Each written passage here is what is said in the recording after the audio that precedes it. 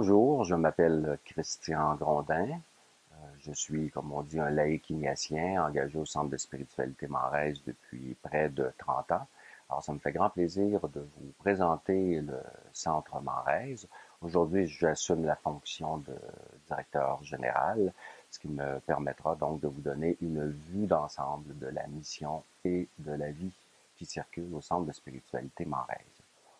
D'abord, peut-être un petit mot d'où venons-nous? Le Centre de spiritualité Marèze a été fondé en 1976, ce qui veut dire que nous aurons 40 euh, ans en 2016-2017. Donc, nous célébrerons notre 40e anniversaire, fondé en 1976 par un jésuite, Gilles Cusson, et une équipe, essentiellement point de départ, une équipe de jésuites comptait notamment euh, Jean-Guy Saint-Arnaud. Euh, depuis, l'équipe du centre, euh, pour ainsi dire, est devenue de plus en plus diversifiée. Alors aujourd'hui, majoritairement, ce sont des laïcs qui œuvrent au centre Manrez, mais aussi bon nombre de religieuses et quelques jésuites qui continuent à appuyer la mission. Alors, depuis 1976, que faisons-nous au, Centre Marais? Certes, la, mission a évolué, mais l'intuition fondatrice, pourrait-on dire, demeure toujours la même. Il s'agit de mettre en œuvre le don des exercices spirituels pour le monde d'aujourd'hui, pour le peuple de Dieu aujourd'hui.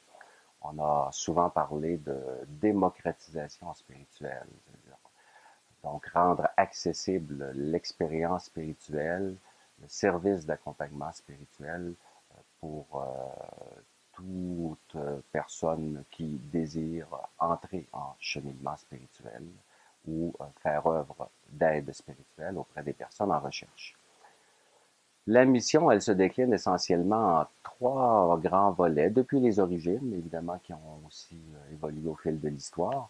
Un premier volet qu'on pourrait appeler des chemins d'expérience spirituelle, c'est-à-dire donc c'est l'offre des exercices spirituels de bien des façons, mais euh, pour monsieur, madame, tout le monde. Alors, euh, certes, on offre toujours les exercices spirituels de façon plutôt classique, mais spécialement dans la vie courante, on a développé cette, euh, cette expertise, on peut dire, depuis déjà les, les, tout débuts du centre. C'est un axe fondateur. Alors, les exercices dans la vie courante, adaptés pour euh, monsieur, madame, tout le monde. Alors, euh, la durée peut, varier, quelques mois, une année, davantage. Mais aussi, on décline différentes façons de donner les exercices, aussi euh, des, des, nouvelles façons. Par exemple, des parcours autour de, de l'art comme expérience créatrice et donc expérience spirituelle des parcours au cours de la, des parcours sur la, méditation en puisant aux richesses des traditions orientales. Alors les pratiques du souffle, de la respiration et bien sûr euh, les pratiques proprement chrétiennes de méditation ou de contemplation évangélique également. Alors on fait aussi des activités de ciné-spiritualité, relire donc une œuvre cinématographique, mais du lieu de la spiritualité comment ça parle du sens de la vie, comment ça parle des enjeux de l'humanité aujourd'hui. Bref, autant de formes d'exercice spirituel pour le monde de ce temps. Mais aussi, depuis l'origine, on a eu le souci de démocratiser, de rendre accessible le ministère ou le service d'écoute et d'accompagnement spirituel. Alors, on pourrait parler de chemin de formation à l'accompagnement spirituel, aussi ouvert au plus grand nombre possible.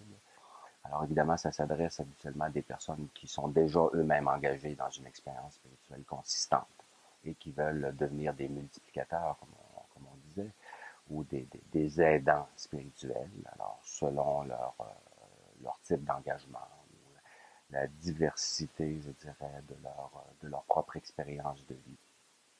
Alors ça se fait parfois assez souvent sous le mode d'engagement bénévole dans des communautés chrétiennes. Parfois, c'est des maîtres et des maîtresses de formation euh, en ce qui concerne des communautés religieuses, des agents, des agents pastorales, bref, des personnes qui ont, d'une façon ou de l'autre, à assumer, euh, qui désirent assumer le service d'aide spirituelle.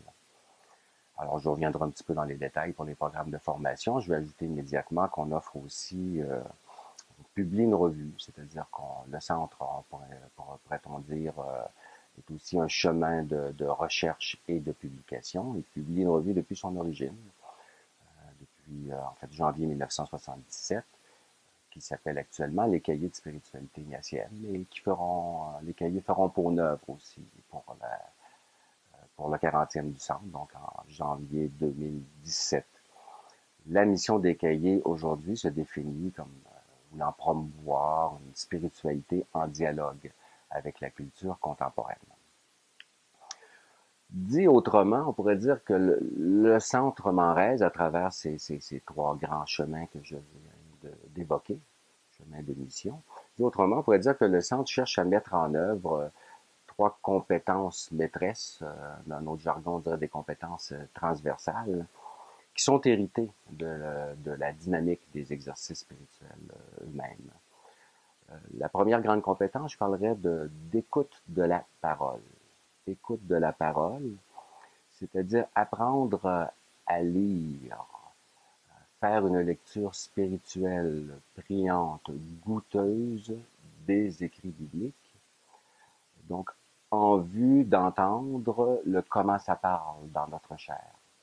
Les écrits bibliques, dans une approche comme celle des exercices, c'est une école de la parole humaine avec le P majuscule, ce qu'on appelle aussi la parole de Dieu, c'est-à-dire le Verbe de Dieu qui parle dans la chair humaine.